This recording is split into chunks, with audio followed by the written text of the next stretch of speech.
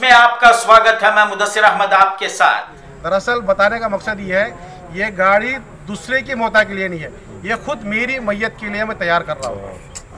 ये मेरी आखिरत के लिए मेरे घर बार की आखिरत के लिए उनके लिए बना रहा हूँ। क्यों बोला तो आज मेरा लिबास भी वाइट है कल मैं चाहे इसके अंदर चल के जाऊँगा या सो कर जाऊँगा। तो मैं बताना ये चाह रहा हूँ कि दुनिया तो मुकद्दर की तय है वो मिल मिलकर रहेगी। लेकिन शर्त यह है कि हमें आखिरत कैसे बनाए। जी मैं एक मरतबा घर पे सोया हुआ था फजर का टाइम था शायद। तो अचानक मेरे आगे दो गाड़ियाँ खड़ी थी। तो वो गाड़ियों को देखने से आया कि कुछ करने का जज्बा तो पहले से ही था लेकिन क्या करूँ उसके जहन में नहीं था। अचानक अल्लाह में अल्लाह ने दिमाग में बात डाली। तो उससे पहले भी मैं दो तीन हादसे देखा था। जैसे यहाँ पे हमारा बी बी जो हॉस्पिटल है उसके सामने एक गाड़ी आने वाली थी वो गाड़ी हाथ दे दी उन्होंने। जो मार्केट में गाड़ी होती है उन्होंने हाथ दे दिया। वो जनाजा लाकर कम आदमी होने की वजह से उन्होंने रोड पर रख दिया जनाजा। वो मेरी नज़र पड़ी। वो मेरा गुजरना हुआ था वो मेरी नज़र पड़ी थी उसके ऊपर कि इसके अंदर अगर कम आदमी जुड़ेंगे तो ये तकलीफ़ होने की आने वाले दिनों में। तो उसकी देखने के बाद मैंने फ़ौरन दूसरी गाड़ी थी मेरे पास मैंने इंतज़ाम किया। उसी टाइम में फ़ोन किया ड्राइवर को बुलाया। तब वो मैंने सर्विस करी थी जो मेरी मार्केट में गाड़ी मेरी चल रही थी। तब उसी बाद उसके चंद चंद एक तीन चार दिन बाद मेरा अचानक ख्याल आया कि क्यों ना इसको वफ़ किया जाए।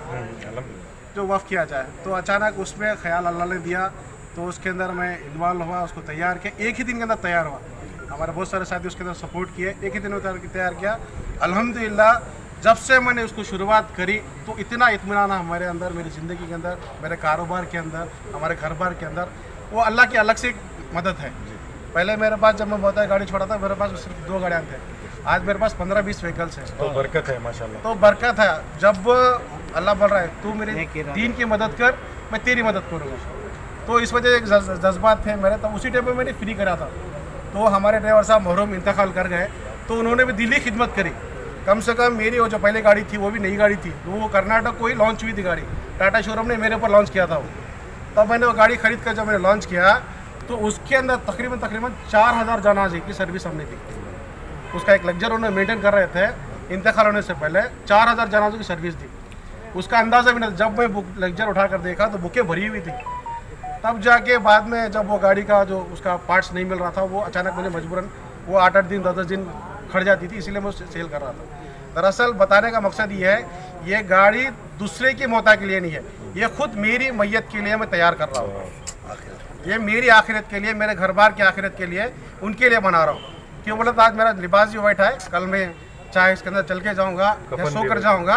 तो मैं बताना ये चाह रहा हूँ कि दुनिया तो मुकद्दर की तय है वो मिल मिलकर रहेगी।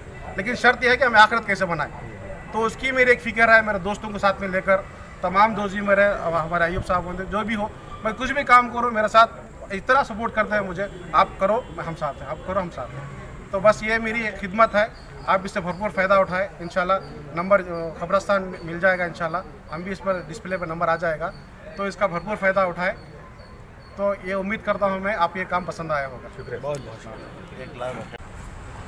रहमतुल्लाहि व बरकातुहू जैसे कि आप तमाम जानते हैं कि आज जो है, माशाल्लाह, एक खुशी का मौका है, जहाँ पर इंसानियत की खिदमत को लेकर और इसी तरह हमारे ईमान वालों की, मुस्लिमीन की खिदमत को लेकर शहर के अंदर बहुत सारी तंजीमें अलहदा-अलहदा फ़िक्रों में आज काम कर रही हैं। इसी तरह अल्हम्दुलिल्लाह हमारे शहर के जनाब स्टार शफ़ी साहब गुज्त कई बरसों से ये जो वहीकल है, जो मौका को लेकर जाते हैं, इसकी जो है फ़िक्र करते हुए जहाँ तक मैं समझता हूँ, तकरीबन आठ दस सालों से मुसलसल जो है अपनी ज़ात की वो गाड़ी देकर व्हीकल देकर मोता को कब्रिस्तान ले जाना, फिर तदफीन करना, फिर उनके घर वालों को फिर वापस उनके मकाम तक पहुंचाना, और जो जनाजा वगैरह, जो भी तस्जीद व तदफीन के सामान होते हैं, उनको फिर मस्जिद तक पहुंचाना इसी वहीकल में। इसकी खिदमत जो है अलहमदिल्ला मुसलसल दस सालों से करते आ रहे हैं। उसके बाद अल्हम्दुलिल्लाह, जिस तरह आप तमाम को मैं बताता चलूँ कि हमारा एक फाउंडेशन भी ओपन हुआ इसी दौरान स्टार इंडिया फाउंडेशन के नाम से। तो फिर मैं मुबारकबाद देना चाहूँगा फिर एक बार शफ़ी साहब को कि अलहमदिल्ला वही ये शफ़ी साहब ही इसके फाउंडर भी हैं। अल्हम्दुलिल्लाह, उन्होंने उन्होंने ने जो है इस फाउंडेशन को बनाया है। तो फाउंडेशन बनाने के बाद फिर एक वहीकल भारत बेंस की एक शोरूम से ख़रीद कर जिसकी तकरीबन कीमत जो है ये काम इखलास के लिए हो रहा है, लेकिन फिर भी मैं आपको बताता चलूँ, ताकि दूसरों को भी जो है इस किस्म के जज्बे दूसरों के दिलों में भी पैदा हो, इसके लिए मैं बात बता रहा हूँ। बाईस लाख रुपये तकरीबन इसकी लागत है। इसको ख़रीद कर फिर स्टार इंडिया फाउंडेशन को आपने जो है डोनेट कर दिया कि ये फाउंडेशन के अंदर ये गाड़ी रहेगी, जिस किसी को भी ज़रूरत पड़ेगी, अल्हम्दुलिल्लाह गाड़ी के ऊपर जो है उसके तफसील से नंबर भी है, और मीडिया के ज़रिए से भी इन इसके नंबर आपको देंगे। इसका बिल्कुल किराया भी नहीं है, डीजल चार्जेस भी नहीं है, कोई भी नहीं है इन अल्हम्दुलिल्लाह, सबसे पहले मैं अल्लाह रब्बुल इज़्ज़त का मैं शुक्रगुजार हूँ। तारीख़ शहर मैसूर। इससे पहले भी स्टार इंडस्ट्रीज़ की जानिब से इसी तरीके की एक गाड़ी का इंतज़ाम। गुज्त पाँच साल मैयत को, है ना, कब्रस्तान तक पहुँचाने का काम मुसलसल करता आया है। पाँच साल के बाद, क्योंकि पहली जो गाड़ी थी वो पाँच साल इस्तेमाल होने के बाद, फिर उसे बदला कर नई गाड़ी आज हमारे star Shafi, star India foundation के एक नाम से, है ना, एक तंजीम कायम करने के बाद, इस चीज़ को, है ना आवाम के सहूलियत के लिए आज वफ कर रहे हैं। और इसके साथ साथ शहर मैसूर में तहफ़ ख़बरस्तान कमेटी। अल्हम्दुलिल्लाह, बहुत सारे ऐसे काम भी अंजाम दिया है, जिससे लोगों को बहुत सारी सहूलतें, क्योंकि ज़िंदगी की खिदमत करना, उसके मसाइल को दूर करना इसका अजर जो शख्स हमारे खिदमत ले रहा है वो दे सकता है या नहीं दे सकता, वो तलाता है। लेकिन इस्लामी तहजीब में मुर्दों की खिदमत करना, इसका अजर अल्लाह की जानब से है ना बाकायदा है ना, जो इंसान इसमें खिदमत के मंसूबे को लेकर काम कर रहा है, चाहे वो मांगे या ना मांगे, अल्लाह उसका अजर दे आज अल्हम्दुलिल्लाह कोविड के दौर में, शहर मैसूर में हमारे जितने भी कब्रस्तान हैं, कब्रस्तान से जुड़े हुए जितने भी कमेटियाँ हैं अल्हम्दुलिल्लाह उन्होंने जिस तरीके से काम दिया है अंजाम दिया है, ये बाकायदा और लोगों के लिए एक मिसाल है। शहर मैसूर में हमने जब जेसीबी से ला कर ना मौता को मदफून करने का सिलसिला जारी हुआ तो और ख़बरों को का लिहाज रखते हुए हमने इसके लिए एक बाकायदा एक अलग से जगह तय कर कर किया। ये जगह पूर्ण होने के बाद ऊटी रोड का कब्रस्तान में हमने शुरू किया। रफ्ता रफ्ता फिर है ना, उनके ख़ानदान वाले जहाँ चाह रहे हैं वहाँ पे ये करने का भी मौका दिया है। आज बाकायदा दीन के दायरे में मुर्दों को तब्दील करने के काम में ये जो शौक़ हमारे नौजवानों में और हमारे साथ जुड़कर काम करने वालों में जो है। ये मैं समझता हूँ कि ये बाकायदा अल्लाह की एक सबसे बड़ी देन शहर मैसूर अल्लाह से ये उम्मीद है कि है ना, मौत बाहक है। हर किसी को है ना, मौत का जाका चकना है। जहाँ भी ज़रूरत पड़ेगी, इसे और इजाफा अगर करने का मौका है तो है ना, ज़रूर करेंगे। आज अल्हम्दुलिल्लाह हमारे लिए जितने भी है ना, घर से मोता को है ना चार कदम चलने के बाद गाड़ियों का इस्तेमाल करने का एक आम हो गया है। इस लिहाज से है ना इसे और मजीद तरीके से, किस तरीके से है ना सहूलतें फराम कर सकते हैं। फ्रीज़रों का ना सहूलत बनाना है और ख़ास तौर से उसूल देने के लिए जो लोग हैं, उनको भी है ना तैयार करने का काम आज तहफ़ कब्रस्तान कमेटी से नए तौर से एक प्रोग्राम बना रहे हैं। और ख़ास तौर से ख़वातीन के लिए गसल देने का काम जो है।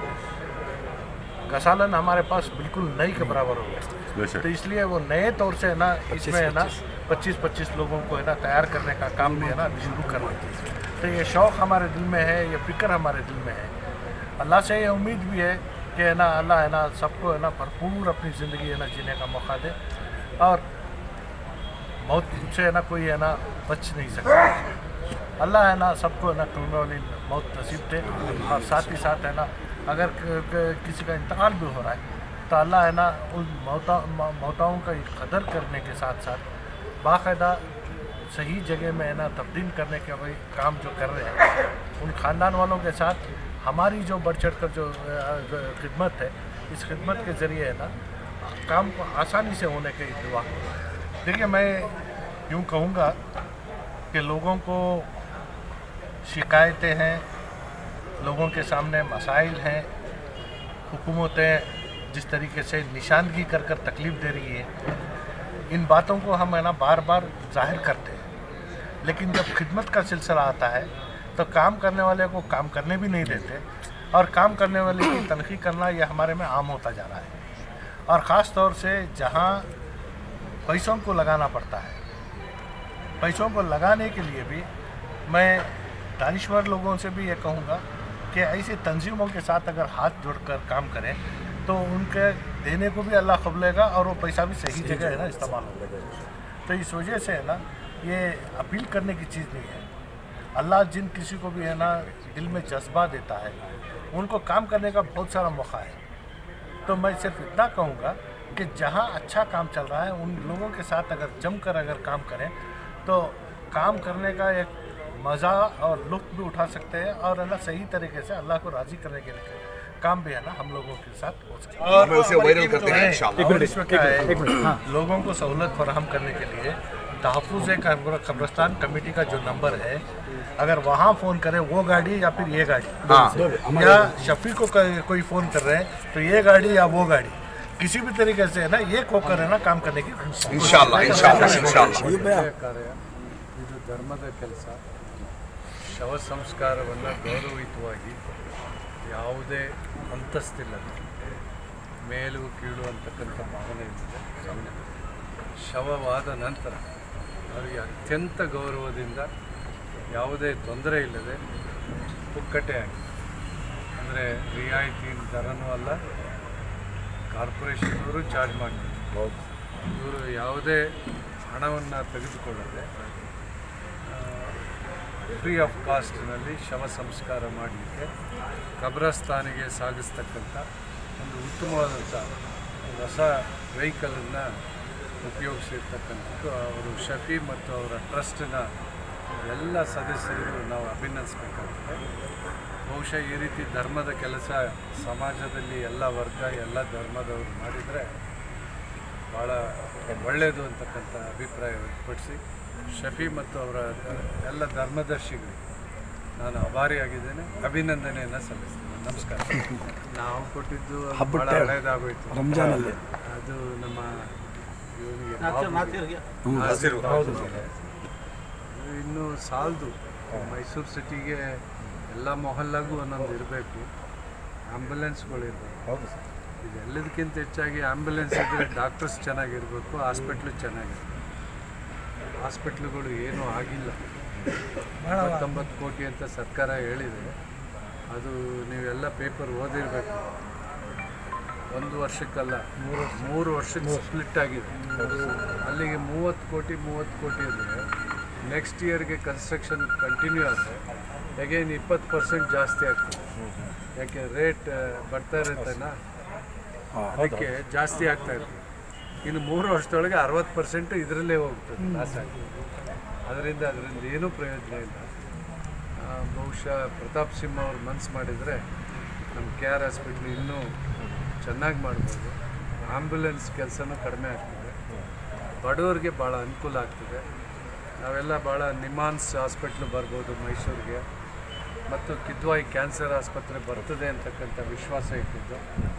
ಈಗಲೂ ನಾನು ಮಾನ್ಯ ಪ್ರತಾಪ್ ಸಿಂಹರವ್ರನ್ನ ಮತ್ತು ಇಲ್ಲಿನ ಆಡಳಿತ ಪಕ್ಷದ ಶಾಸಕರನ್ನ ನಾನು ವಿನಂತಿಸ್ಕೊಳ್ತೇನೆ ಮತ್ತು ಒತ್ತಾಯಿಸ್ತೇನೆ ಮೈಸೂರಿಗೆ ನಿಮಾನ್ಸ್ ಹಾಸ್ಪಿಟಲ್ಲು ಮತ್ತು ಕಿದ್ವಾಯಿ ಆಸ್ಪತ್ರೆಯನ್ನು ತರೋದರಲ್ಲಿ ಅವರು ಪ್ರಯತ್ನ ಮಾಡಬೇಕು ಅಂತೇಳಿ ನಾನು ರಿಕ್ವೆಸ್ಟ್ ಮಾಡಿ ಇಲ್ಲ ನೀವು ಬಂದರೆ ಬರುತ್ತೆ ಬಿಡಿ ಅದು ಬರಲ್ಲ आज मैसूर वालों के लिए खुशी का दिन है मैसूर के अंदर तीन कब्रस्तान हैं एक पुलकेशी रोड में, एक अग्रार में और एक गौसा नगर के अंदर छोटा कब्रस्तान है।